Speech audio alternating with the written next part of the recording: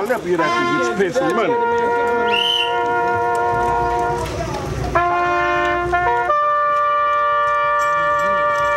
All right.